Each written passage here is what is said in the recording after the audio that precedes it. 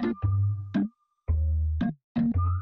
just want to talk about the Browns. Oh, the oh, Browns are no good. No, no This is oh, the the 49ers. Browns going to 49ers. the Super Bowl. All or. Oh, no, no, no. The Eagles. That's where it's at. The Eagles stink. When, when Wentz gets to the playoffs, he gets hurt. Right. When Yeah. Wentz gets to the playoffs. And the Browns.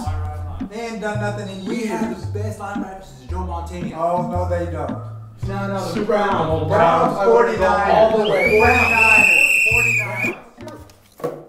Penalty. I am citing you for unsportsmanlike conduct. Instant replay, please. It's all about Genesis. Genesis United Methodist live auction. Yes. That's a new team, right?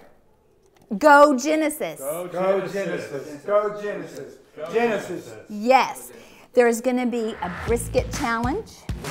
Yes. So you g- you're going to have to get your culinary skills going.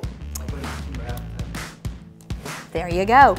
And it's going to be on September the 29th, Sunday, immediately following the 1030 worship services in the Great Hall.